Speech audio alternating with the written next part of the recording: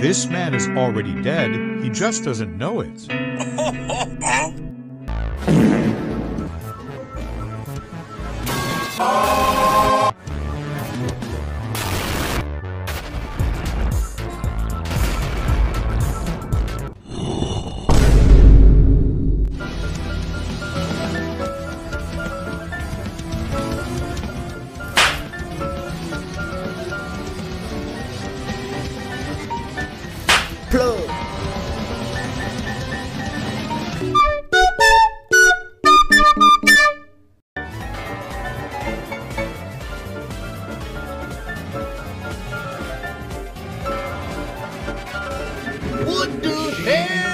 Turn back now.